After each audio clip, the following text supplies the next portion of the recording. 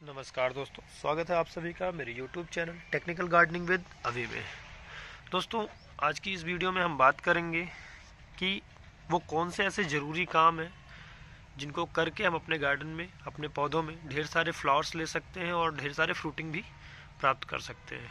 तो दोस्तों वीडियो के आखिरी तक बने रहिएगा, क्योंकि आखिरी में मैं आपको वो पॉइंट बताऊँगा जिससे आपके पौधे में अगर भी फूल नहीं आ रहे हैं, कम आ रहे हैं तो ढेर सारे फूल अपने पौधे में कैसे ले सकते हैं। इससे पहले अगर आप सभी मेरे चैनल पर नए हैं और अभी तक मेरे चैनल को सब्सक्राइब नहीं किया है तो प्लीज़ चैनल को सब्सक्राइब कर लें और बेल आइकन को प्रेस कर दें, ताकि आगे आने वाली वीडियो के नोटिफिकेशंस आपको आसानी से मिलती रहें। तो दोस्तों, मैं आपको आज की इस वीडियो में पाँच ऐसे ज़रूरी टिप्स बताऊँगा, जिसकी मदद से आपके पौधे हमेशा फूलों से लदे रहेंगे और आपको भी अपने गार्डन में मेरी तरह ढेर सारे फूल और फल प्राप्त होंगे। तो दोस्तों, पहली जो चीज़ है आपको केयर करने की, वो ये है कि आप अपने गार्डन में वाटरिंग कब कैसे और कितना करते हैं। देखिए, क्या होता है, हमारा माइंड सेट होता है कि पौधों को पानी देना है। तो हमने एक शेड्यूल बना लेना है कि डेली हम आएँगे और अपने पौधों में पानी दे देंगे। पर ऐसा नहीं होता, दोस्तों। हर चीज़ की एक नीड होती है। पौधे को कब पानी की नीड है, कब नहीं है, इस चीज़ को देखते हुए हमें अपने पौधों में वाटरिंग करनी चाहिए। क्या होता है कि हमारी जो गमलों में मिट्टी होती है मोस्टली हमारे टेरिस पे चार से पाँच घंटे की धूप सभी पौधों को लग पाती है। कुछ पौधों को सात से आठ घंटे अगर आपका मैनेजमेंट ऐसा है तो लग सकती हैं। लेकिन चार से पाँच घंटे की धूप में जो पौधों में गमलों में मिट्टी होती है, ऊपर की सतह तो सूख जाती है, पर नीचे की सतह में नमी बनी रहती है, पानी का कुछ हिस्सा रह जाता है। तो रूट्स हमारे जो है, हमेशा पानी के वो नमी के संपर्क में रहते हैं और फिर जब हम उसमें वाटरिंग कर देते हैं तो वो एक्स्ट्रा वाटर हो जाता है और रूट्स डैमेज होने लग जाते हैं। तो इसके लिए हमें क्या करना होता है कि हम जब भी अपने पौधों में पानी डालने के लिए आते हैं तो हमें एक इंच की लेयर जो होती है मिट्टी की गमलों की, उसको इस प्रकार खोद लेना होता है।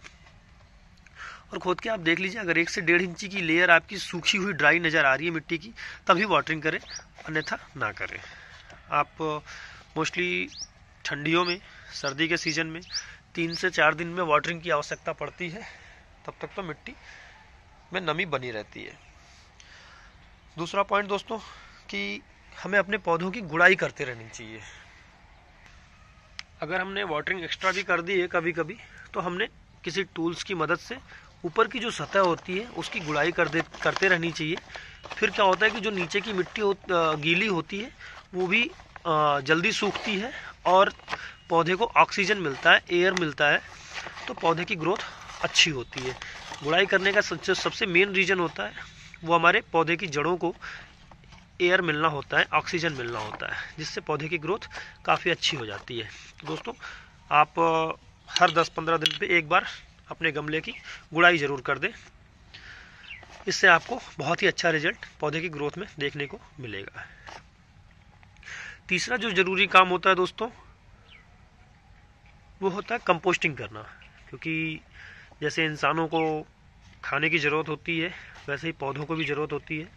तो जब हम मिट्टी में लगाते हैं गमलों में तो फिर भोजन जो हम बना के मिट्टी में मिला के देते हैं, वो ज़्यादा दिन तक चल नहीं पाता है। फिर वो पौधों को एक्स्ट्रा भोजन की आवश्यकता होती है तो उसे हमें कंपोस्ट के रूप में देना पड़ता है। तो आप हर पंद्रह दिन पे एक मुठ लिक्विड कंपोस्ट दें तो उससे पौधे डायरेक्ट जल्दी बढ़ते हैं, वो जल्दी ग्रहण करते हैं और ड्राई कंपोस्ट देने पे उनको अच्छा है, पर थोड़ी लेट उसकी ग्रोथ नज़र आती है। तो लिक्विड कंपोस्ट में आप बनाना पील फर्टिलाइज़र और प्याज के छिलकों से बना लिक्विड फर्टिलाइज़र या सरसों खली या गाय के गोबर से बना हुआ लिक्विड कंपोस्ट आप कोई भी कंपोस्ट पंद्रह दिन में एक बार दीजिए। और अगर आपके पास लिक्विड कंपोस्ट मौजूद नहीं है तो आप ड्राई कंपोस्ट भी दे सकते हैं, पर कंपोस्टिंग करना बहुत ज़रूरी होता है पौधों की ग्रोथ के लिए। तो कंपोस्टिंग करते रहिए। अब दोस्तों, चौथा कि डेली मॉर्निंग जब आप उठते हैं सो के तो आपको एक बार अपने गार्डन में ज़रूर जाना चाहिए और चेक करते रहना चाहिए सभी पौधों पे कि किसी में कोई वायरस या फंगस अटैक तो नहीं आ रहा है। क्योंकि जब एक बार हमारे पौधों में फंगस का अटैक आ जाता है तो फिर उसके बाद हमें तत्काल उसकी केयर करनी पड़ती है। अदरवाइज़ वो पौधे पे जब एक बार पूरी तरह से अटैक हो जाता है तो फिर हम उस पौधे को बचाना बहुत मुश्किल हो जाता है। जैसे कि आप देख पा रहे हैं, मेरे दो गेंदे के पौधे हैं। मैं कुछ पाँच छः दिन के लिए बाहर गया हुआ था। तो ये मेरा एक पौधा, आप देख पा रहे हैं, पूरी तरह से फंगस के अटैक में है। और दूसरा, ठीक है, अभी इसमें हल्का फुल्का है तो इसको मैं बचा लूँगा। तो दोस्तों, सुबह आके आपको ये ज़रूर चेक करते रहना चाहिए कि आपके पत्तों पे कोई फंगस अटैक तो नहीं है, या फिर आपकी फ्लावर्स पे, फूल्स पे जो नई बर्ड्स निकल रही हैं, कलियाँ निकल रही हैं, उन पे कोई फंगस अटैक तो नहीं आ रहा है, कोई एफिड्स तो नहीं है। तो इसको आपको चेक करते रहना है। और अगर आपको कोई फंगस अटैक दिखता है तो आप उस पर तुरंत किसी फंगिसाइड का स्प्रे करें नीम ऑयल का स्प्रे करें, उसको बचाने के तरकीब निकालें, क्योंकि अगर वो फैल जाएगा, तब मुश्किल हो जाएगा। तो स्टार्टिंग में ही स्टार्टिंग फ़ेज़ में आप उसे सब, आपके पास कोई भी चीज़ नहीं है। नीम ऑयल भी नहीं मिल पा रहा है आपको, कोई फंगिसाइड का स्प्रे नहीं हो पा रहा है तो आप उसको बहुत अच्छे से पानी से ही धुल दें और ऐसा हफ़्ते में तीन चार दिन लगातार कर दें तो आपके पौधे से जो फंगस होगा, जैसे इस पौधे में देखिए हल्के हल्के इस फूल में आपको ब्लैक कलर के दिख रहे हैं कुछ।